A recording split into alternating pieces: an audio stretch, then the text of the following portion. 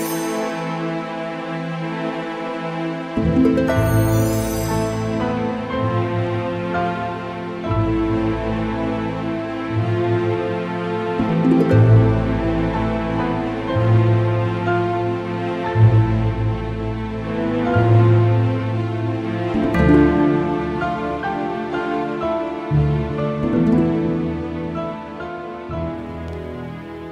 Hello, welcome to this week's episode of the Downton Dish. I'm Marlise. And I'm Elyse. And we are the chat show that dishes about everything Downton Abbey. And today we're going to talk about season five, episode five. Oh, what a good episode! It was so juicy!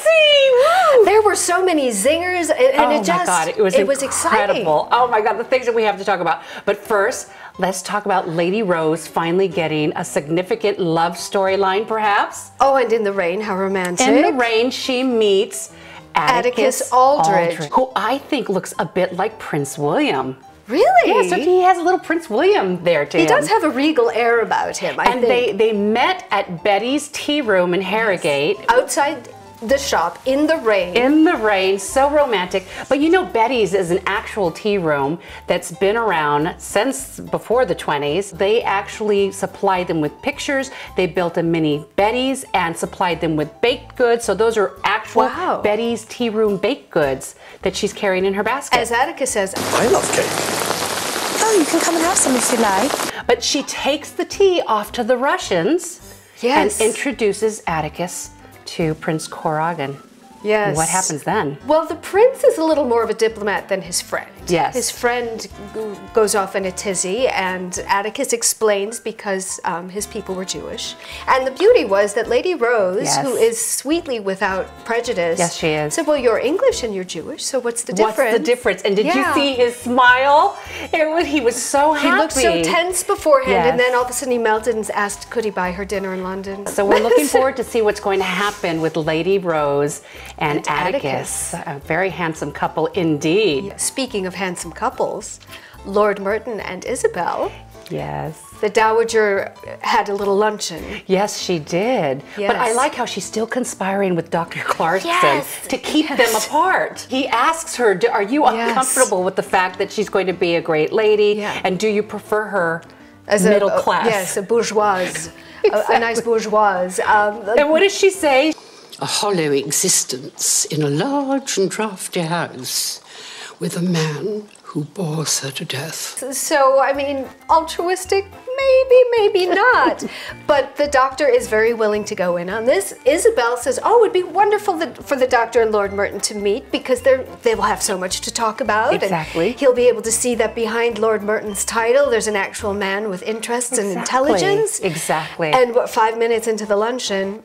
The They doctor say, says, "Yeah, they're well I- suited." They're well suited. I, even though we hate to admit it, they're well suited. So who knows where that's going to lead? Ellen Terry has nothing on you when it comes to stringing out a moment. And Barrow is sticking just when you Barrow. think you you pity him, you want things to turn out He well. looks you're like feeling he's sorry dying. for him. Number one, what is going yes, on even, there? You even ask at dinner, is, is Mr. Carson you overworking well? you? Exactly. And you're just ready to start rooting for Barrow, and then all of a sudden he turns back into Still Barrow. wants to bring, yeah. Yeah, He Mrs. might have Hughes something to talk to the inspector about. Yeah, and she He's says, "Don't nasty. cause trouble. Don't cause trouble." You'd think by now. Nope, he's not No, going to learn. True to form. Just lay off. How about Baxter and Molesley? Might you tell me? She's finally told him exactly what went on in her former house. And he sees her as the victim, and He she's not having that, which I, I like her more because she's revealed all of this. Yeah, she's really, you know, she's really accepting what she's done, and, and she's not taking, she's not pushing the blame on anybody No, else. no, and- and and, uh, and he know. still loves her, and he still believes that you know she was a victim. We Yes. just want her to be happy. Yes. like we just want Anna and Bates to be happy. Yes. The police the are police back. are back, and they were questioning Anna And Lady Mary. Oh my gosh! You have no reason to believe that Bates was anywhere further south than York. No reason at all. And they were just questioning because Anna was in London. Yes. On the day that Green died. And what- not only was she in London, she went back and retraced the steps She and did. had How had, did she know?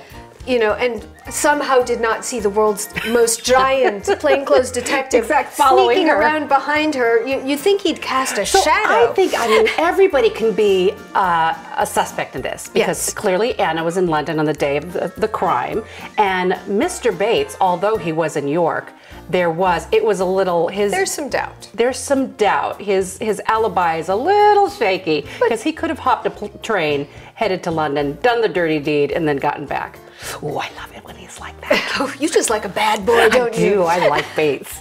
I promise you this. Nothing bad is ever going to happen to you again.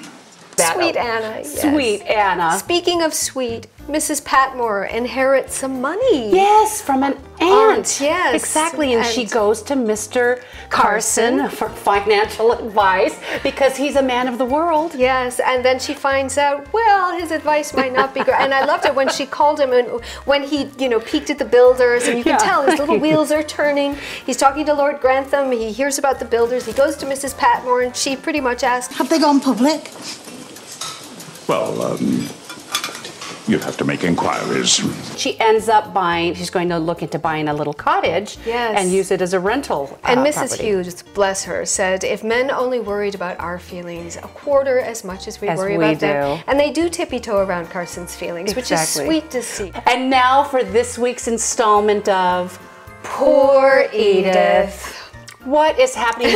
Lady Rosamund arrives at Downton Abbey because she's heard that Edith has taken a, a shine to some little girl, Little in a farmer's daughter. county, and I think she knows, so she's come to Oh, investigate. she knows. She knows. so she finds out it's Marigold. they go to visit. Well, we don't want to disturb your day.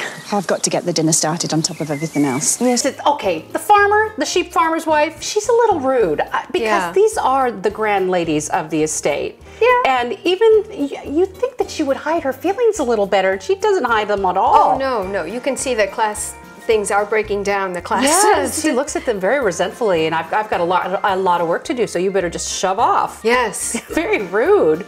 Yes. So you know, so they meet uh, little Marigold, she, uh, Rosamund does, and then they take her up to the house and where the Dowager Countess is now suspecting. Oh yes. And you know, you can't get anything past the Dowager Countess. Oh no, she brings Rosamund to task and Yes. says, "You're not leaving the house. You know you're not leaving my house until, you, tell me." So they both confront poor, Poor Edith. who got a little snarky at dinner. She did. Well, she's had enough. I mean, she's had enough. So they, Yeah. they confront her and say, listen, this is just not going to work. And you need No. to take little Marigold and send her off to a boarding school in France. yes, and never let them know who you are. Exactly. And Edith, I'm sensing, is not going to have any of it.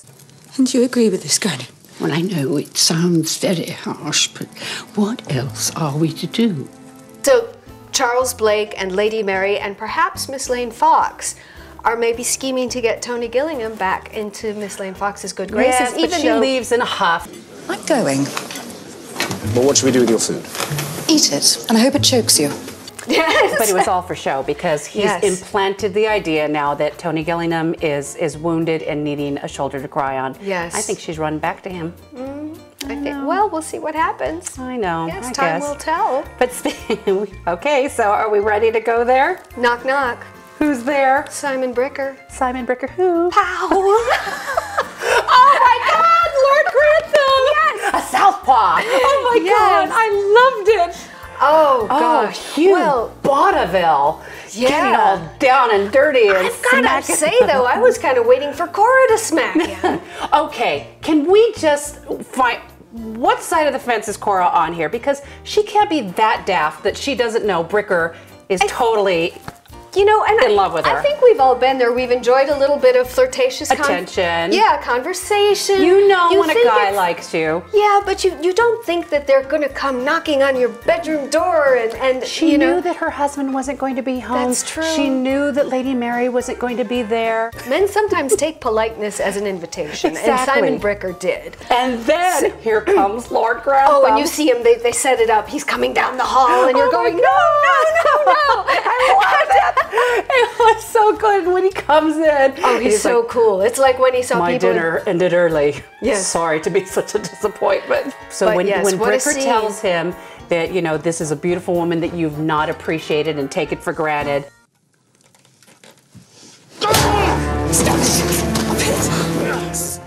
Yay! Yay, you Bonneville! Yes, and Simon Bricker deserved it. He absolutely did. Yes. But but the coolness comes from Lady Cora when Lady Edith is knocking Oh. on the bedroom door. Mama, is everything all right? So sorry, darling. Father and I just playing a stupid game, and we knocked over a lamp. What game they played? Oh, because yeah. that was an awful lot of noise. and they knocked over a lamp. So, yes, it's, it's quite exciting behind closed doors. And you know, poor Edith is, is tromping back to her bedroom saying, I never get to have any fun in my Her bedroom. parents are having more fun than she is. Oh my God. Yes. Oh my God, the Granthams can really have. Fifty Shades of Grantham going on back there. Speaking of moments that made you want to break out into a dance, Miss Bunting. Miss Bunting's gone! Yes! Yay! Ding Yes. dong, Miss Bunting's gone, Miss Bunting's gone, Miss Bunting's gone. But she, these these last couple conversations, you saw how poorly she read. She still does not get it. no. She still does not get it. Yes. He's, he's breaking up with her and he says, You pitted yourself against this family from the beginning. Yeah. What did my you expect? My wife was part of the family. My, My child is daughter part, is of the, part family. of the family. And she still looks at them and he Yes. says, I know you despise them. And she says, Don't you despise them? Really? No, I don't. Maybe she really thought she was going to come in there and he was going to say, "Yes, she's right," and now we're going off together. And and And I just could not No. wait. I, I just kept thinking, cut it off, say Yes. goodbye, and just just drive away because I just kept thinking that she was going to talk him into staying or talking, you know, second chances. and he was really pretty kind about He the whole very thing. kind. And I, I did feel a little bad for her in a way. You did? Because- just a little bit, because again, I like her downstairs with Daisy. Yes. She's wonderful, and Daisy was so cute in this whole thing. Daisy's, Daisy's, like, yeah, I've got to mm. yeah. save the day. and- rallying and- to her defense. yeah. And, And stepping uh, out of line and going to Branson and saying, "You really are making a mistake. You yeah, really she need loves to think." Yes, she loves you Yes. and, and everything. And he So does when go he- say he- goodbye. He goes to say the final goodbye, and I really thought, just let her get in the car and drive away. Yes. And she says, I really did love you, and if you Yeah. just allowed me to love you more. Then she says, what I don't like is she says, I wish I met you before you met any of Yes. these people. She just despises them so much. She can't get past, No, she- well, the class differences and, and her hatred of, of the aristocracy. You remind me of who I am, and I'm grateful. And I won't lose touch with that again.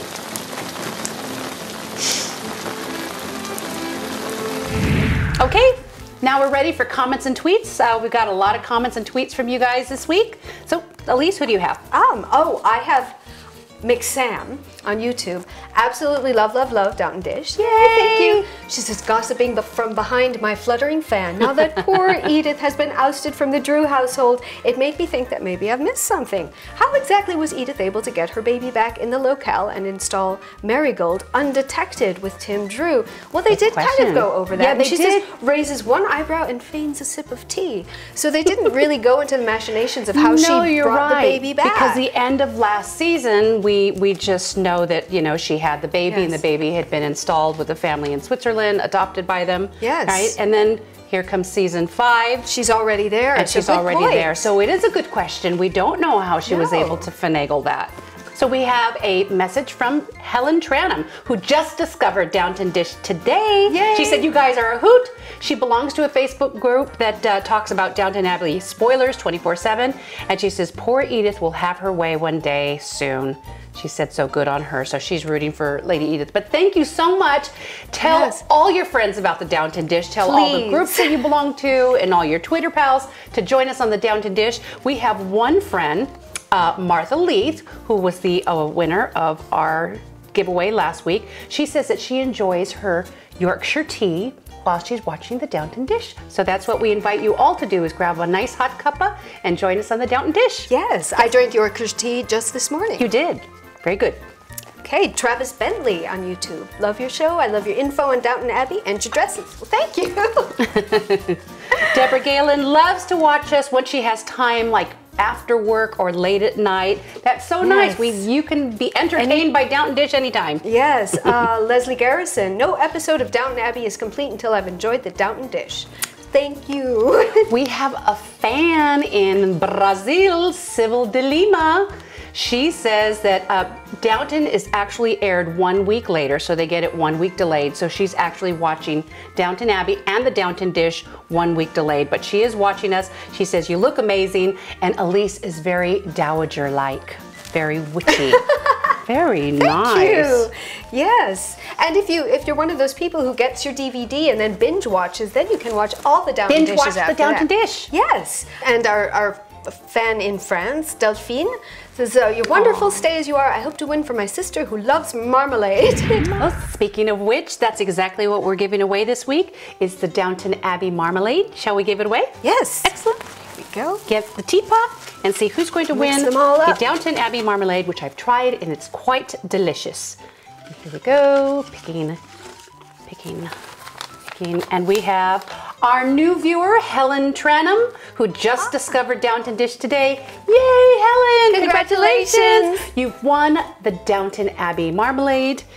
That will be on its way to you along with a signed picture from Elyse and I. And now for this week's giveaway, we're going to give away the Grantham Breakfast Tea. It's the Earl of Grantham tea, which we have been trying today and we absolutely love it. What do you think about it? I like it. It's gingery. It's got a little snap to it. Yes, it is. Very gingery and spicy. So, how do you win the tea? Leave a comment below this video or tweet us at hashtag Downton Dish. Let us know what you think of the show and any questions if you have them. But remember the hashtag Downton Dish and your name will go in a drawing in the teapot for next week. So thank you so much for joining us this week. I'm Marlise. And I'm Elyse. And you've been watching The, The Downton, Downton Dish. Dish.